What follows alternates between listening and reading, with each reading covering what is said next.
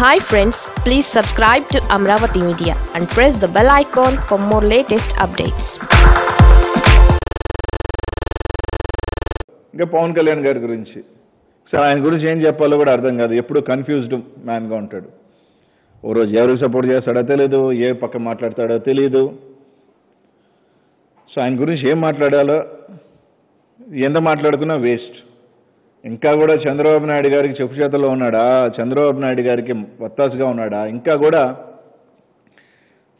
Still పోయాడు ఎన్నికలు అయిపోయినాయి బీజేపీకి పోయి మద్దతు చేశాడు. ఆ కేంద్ర ప్రభుత్వమే అది స్టేట్ ఒక పాలసీ దానికి మాకు సంబంధం లేదని చెప్పి వాళ్ళు డిసైడ్ చేసుకుని వెళ్ళిపోయినారు.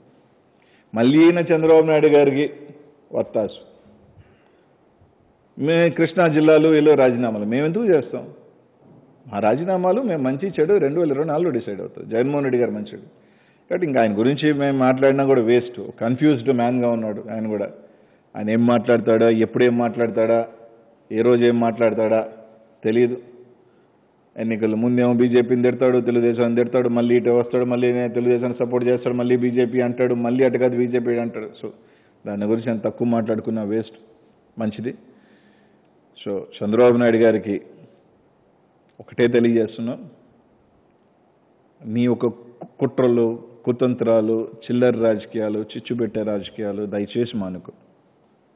ఈ రాష్ట్ర ప్రజలు ఇంక సిద్ధంగా లేరు.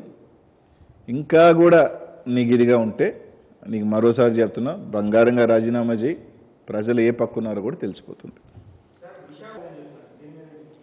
నేను ఇప్పుడే చెప్పా.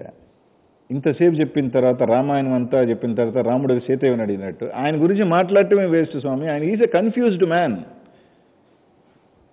Capital అప్పుడు విజయవాడలో పెట్టుంటే అప్పుడు ఒక మాట మాట్లాడతాడు. మళ్ళీ అటు పోయిన తర్వాత నాలుగు రోజుల తర్వాత ఇంకో మాట్లాడతాడు. ఆయన గురించి అసలు ఏం మాట్లాడుకోవాలనే వేస్ట్. ఏడాది కాదు ఎప్పుడు మేము క్యాపిటల్ని మార్చాలని డిసైడ్ చేసాం మీరు చెప్పండి.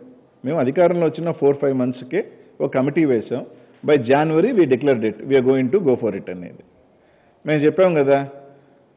సో ఇంత చెప్పిన తర్వాత తర్వాత ఇంకా వాళ్ళు కలెక్ట్ సెలెక్ట్ కమిటీ అన్నారు తో అన్నారు దాన్ని ఎన్ని రకాలుగా చేశారు చిచ్చులు పెట్టాలో ఇట్ ఫోర్ ఫైవ్ మంత్స్ అంతేగాని అసలు ఆయన గురించి అసలు ఎందుకు ఎంత తక్కువ మాట్లాడుకుంటే అంత మేలు స్వామి అని చెప్తా ఉన్నాం. ఇంక దేనికి?